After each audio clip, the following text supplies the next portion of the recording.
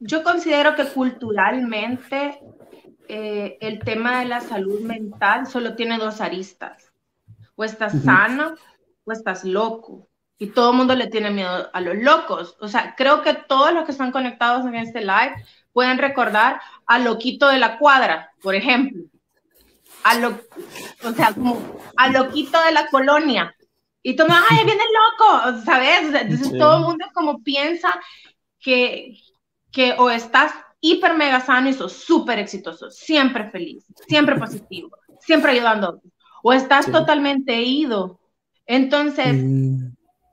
el tema de ir con un, con un experto de la salud mental que puede ser un psicólogo, un coach o incluso un psiquiatra, está mal visto, número uno, por el tema cultural. Número dos, y yo me dedico a los medios, pero te digo, creo que también los medios tienen mucho que ver porque estigmatizan varios eh, de los trastornos que existen.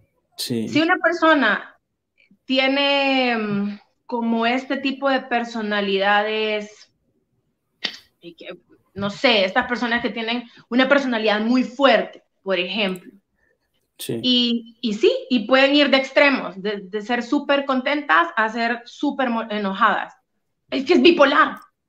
No es bipolar. O sea, le atribuimos le atribuimos eh, trastornos a comportamientos que son totalmente lógicos y esperados en cualquier ser humano.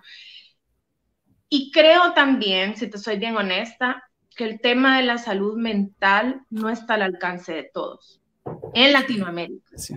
La consulta con un buen profesional de la salud puede costarte bastante caro y luego si estas personas necesitan medicamento, también estamos hablando de hacer una inversión aún más fuerte.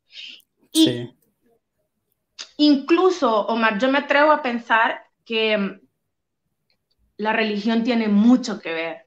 La gente prefiere contarle sus problemas al cura en lugar de ir con alguien que realmente te va a decir, ok, estudié para decirte que esto es lo que está sucediendo. Yo no tengo nada en contra de la gente que busca un guía espiritual. yo tengo. Sí. Pero pues yo voy a la iglesia por fe. Pero para cuidar mi salud mental, yo voy con quien estudio para eso.